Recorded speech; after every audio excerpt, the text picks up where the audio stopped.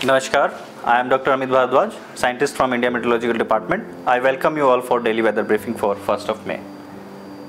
Now, as you can see, the past 24 hour uh, hailstorm are reported our our observatories over these states. As you can see that HP, Uttarakhand, Bihar, GWB, Rajasthan, Maharashtra, uh, Rajasthan, Madhya Pradesh, uh, Vidarbha. These are the stations in yellow color. You can see these are the uh, locations where uh, the heavy uh, hailstorm is been observed. Now in the other another heavy rainfall events which are observed in past 24 hours, as you can see, the light yellow color will show the locations where the heavy rainfall has occurred, and the dark uh, yellow uh, is showing the heavy to very heavy, heavy rainfall is been observed over Telangana, as you can see in this picture. Now, if we see uh, the today's uh, synoptic features, what are the synoptic systems available in our uh, RSMC domain? So you can see the background is the satellite picture. Over, uh, you can see there are two western disturbance, which are uh, first this western disturb- disturbance is available over uh, South Pakistan, uh, uh, 3.1 and uh, 5.8 kilometer above mean sea level. The second western dis- disturbance, as you can see, which lies over Haryana and neighborhood at 3.1 and uh, 7.6 kilometer above mean sea level. You can also see there is a cyclonic circulation, induced cyclonic circulation due to this, which is our west Rajasthan at uh, 1.5 kilometer above mean sea level.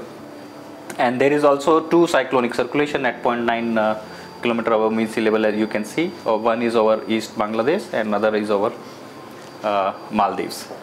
You can see there is also a trough discontinuity line which starts from uh, uh, east vidarbha to uh, south interior karnataka via nik north interior karnataka. So these are the major synoptic systems you can see.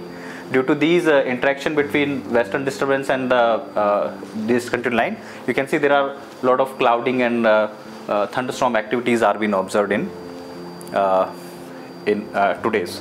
So this is also been forecasted. The we have forecasted that entire uh, India up to five days will be experiencing uh, thunderstorm activities, but these thunderstorm activities will decrease after second day. From first to second, it will be there, but after after that, it will gradually decrease.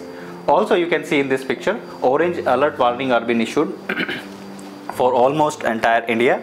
As you can see, the if you see uh, for the hailstorm warning, the hailstorm warning are being covered for uh, Hima- Himachal Pradesh, Uttarakhand, Punjab, Haryana, uh, uh, Uttar Pradesh, uh, as well as Ham- uh, Jharkhand, GWB, Jharkhand, uh, uh, Chhattisgarh, and Madhya Pradesh, uh, Vidarbha, Telangana, as well as Ma- uh, Marathwada.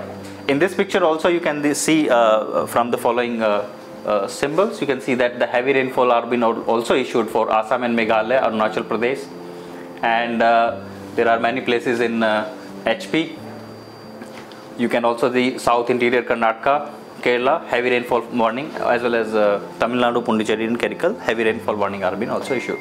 So these uh, uh, warnings are for day one, and then for day two they will start decreasing the systems.